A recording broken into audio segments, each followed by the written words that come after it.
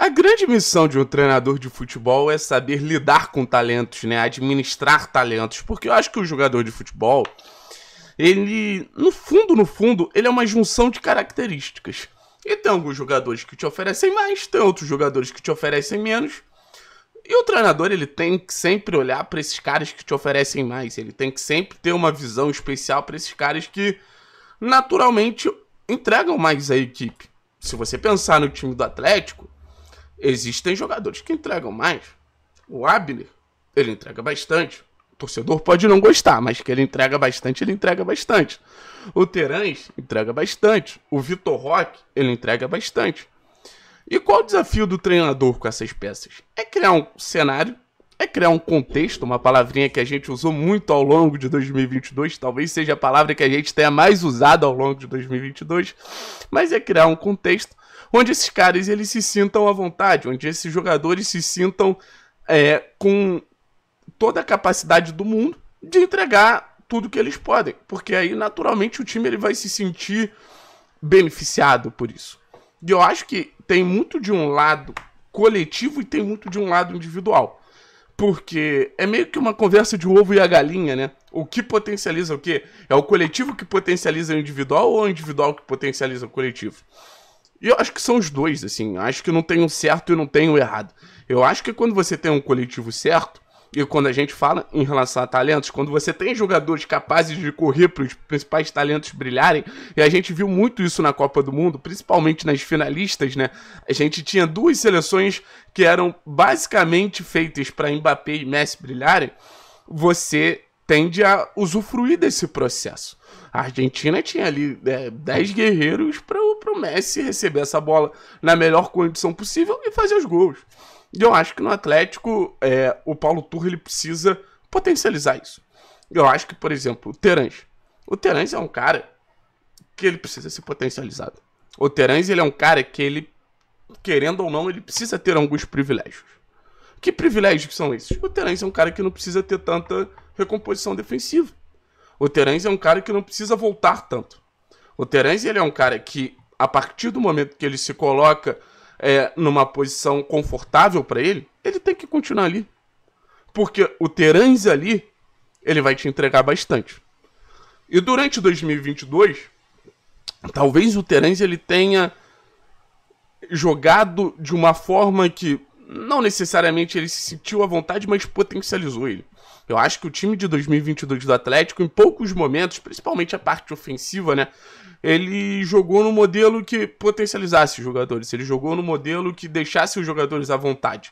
Eu sempre vi um Atlético jogando de maneira desvantajosa para esses caras com mais capacidade técnica.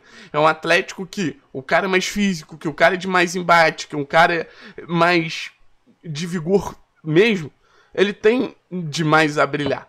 Porque, por exemplo, o Alex Santana. O Alex Santana ele entra no time e se encaixa de maneira perfeita. Então, assim, posse de bola. Bola. Bola. É algo que o Atlético precisa ter mais em 2023. Isso vai potencializar muito os principais talentos. O próprio Vitor Roque, a gente viu na reta final, um Vitor Roque que vivia um jejum, um Vitor Roque que claramente se incomodava com esse jejum. Nos jogos que o Atlético teve mais bola, o Vitor Roque foi melhor. O Vitor Roque chegou mais ao gol adversário, o Vitor Roque ameaçou mais, o Vitor Roque fez gols. Então, o Paulo Turra ele tem que observar isso e falar: putz, velho, tendo a bola, sendo mais dono do jogo, potencializando mais esses caras, eu tô mais próximo da vitória. Eu tô mais próximo de marcar mais gols que o adversário. Porque, querendo ou não, é uma maneira até de se defender. O Atlético que não teve uma boa defesa ao longo da temporada, um Atlético que realmente teve uma defesa muito frágil em vários momentos, talvez precisasse só ficar um pouco mais com a bola para que se protegesse e potencializasse os jogadores de frente. Muita gente me questionou em relação ao Canóbio ao longo da temporada, né? O Canóbio também foi um jogador que super me irritou. E eu acho que, querendo ou não, o Canóbio ele tem responsabilidade sobre o jogador que ele foi e também sobre o jogador que ele não foi. E que se esperava muito que ele fosse.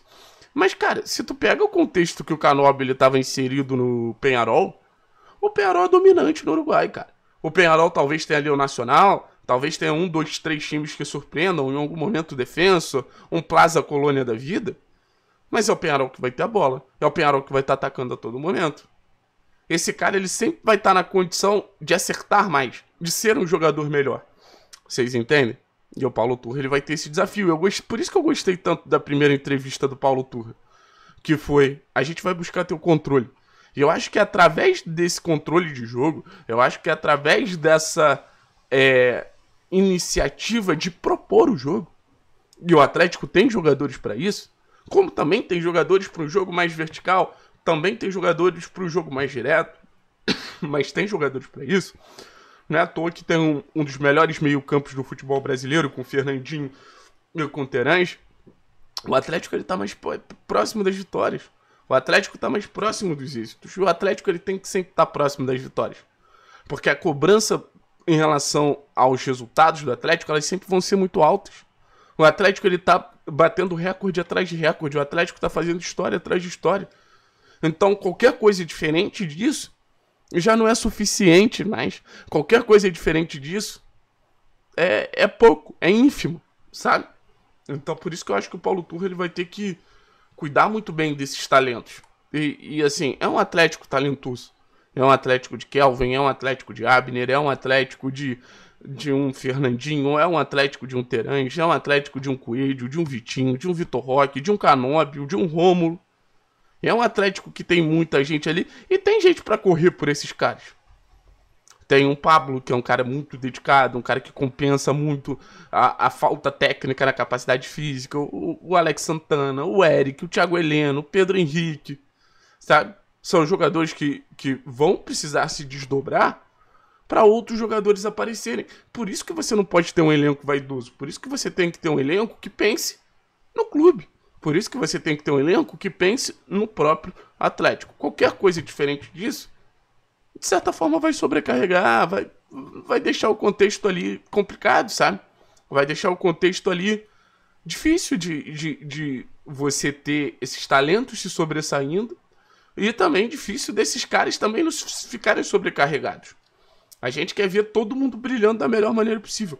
O Palmeiras, que talvez seja o time de maior sucesso nas últimas temporadas do futebol brasileiro, ele tem muito bem definido ali os caras que correm e os caras que brilham em alguns momentos, os caras que brilham, eles viram até esses caras que correm, e vice-versa. Mas, por exemplo, um Marcos Rocha precisa virar quase um terceiro zagueiro para o Dudu brilhar. Se você quiser ir pro Flamengo, um dos grandes destaques da temporada, e talvez uma das peças mais fundamentais foi o João Gomes.